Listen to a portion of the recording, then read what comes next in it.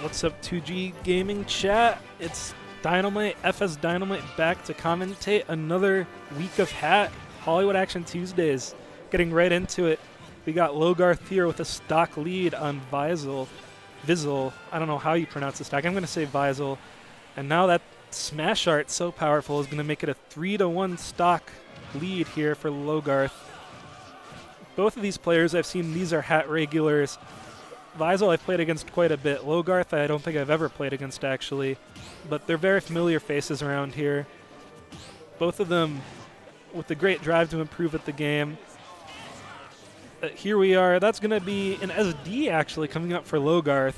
Jump Art not quite getting him the distance he wants. I was thinking Vizel might have bit the bullet there, but he lives another day. How far can he take this deficit before it is curtains for him?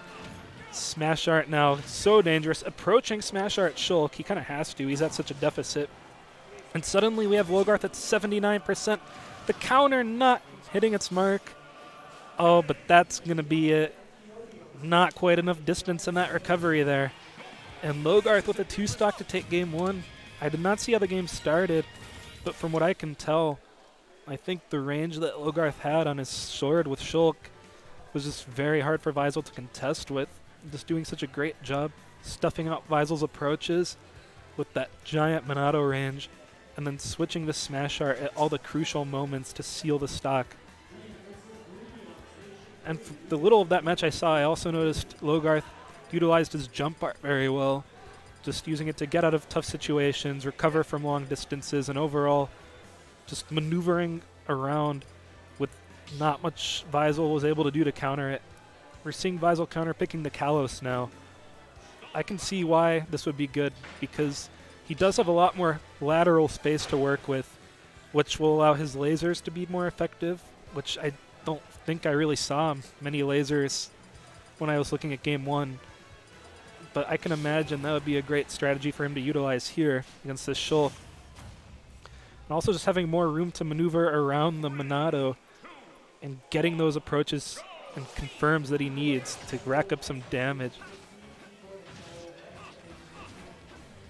All right, so going into game three here, we see Logarth getting some good hits and Vizel off stage already, managing to get back though.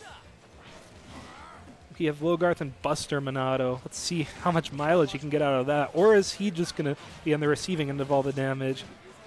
All right, so Vizel sneaking in a dash attack at the last second while Shulk was in Buster, getting that nice damage off. Amazing single hit up air conversion. That was so sick. Um, is Wolf going to be able to make this? No. I feel like that was possible to make, but Vizel just barely missed the mark, and that is going to cost him his first stock in this game, too. I think what we're going to want to see from Vizel here is just slowing things down a little bit. He just seems to be rushing in maybe a little too much, and it's costing him in these crucial situations, but now he's in a pretty good spot. How long can he make that last? Shield art, I don't feel like that's going to be too threatening, and Logarth realizing that, switching to Buster. This could be very critical here for Logarth to extend this lead further but not really getting much of anything out of it. Unfortunately for him, but very fortunately for Vizel. Goes for the forward smash, just barely getting stuffed out by Shulk's forward air. Is that going to be the stock? No, such a smart high recovery. I love that coming out from Vizel.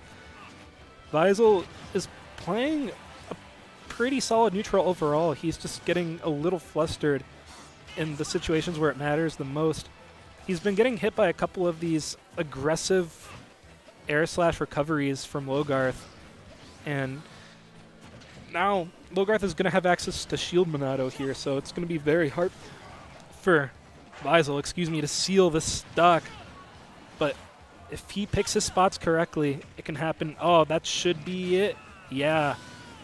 Goodbye, Shulk. And now percentages are worlds apart, but at least the stocks are even. And if Vizel gets a few good enough hits, then he can bring this back, even though now he is, of course, down a stock, but that's not going to matter necessarily if he can get some momentum going here. I feel like Logarth's just been in control this entire set, but Vizel's never been too far behind.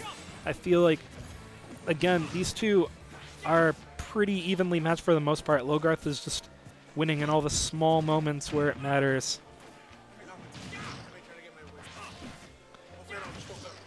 All right, so improvement, another very smart high recovery, finally respecting the aggressive air slash.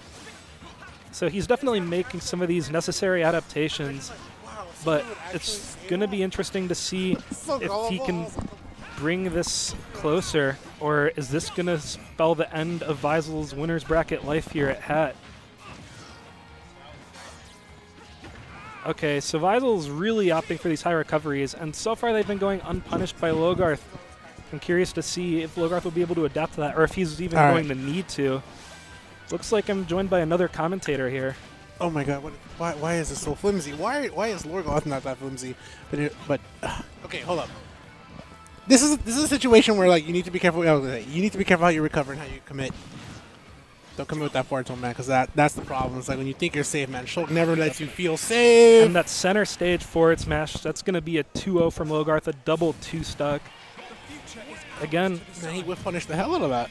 yeah, he really did. And I feel like that whole set, Vizel did not play too bad. It's just, again, Logarth just kept getting the edge in neutral, and he just had a more solid advantage state and was able to stuff out a lot of Vizel's approaches.